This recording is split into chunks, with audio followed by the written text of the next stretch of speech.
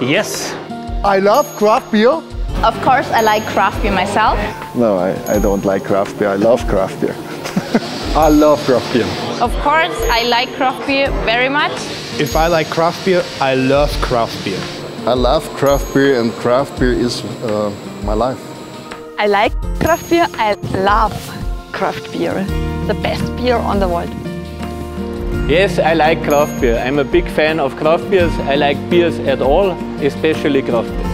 I love craft beer for the taste, for the people behind the craft beer, for the people brewing beer, for their passion just behind it, the ingredients they're using, the creativity, all that stuff around. It's just amazing how it's developing. I think I'm, I'm not able to imagine my life without it anymore.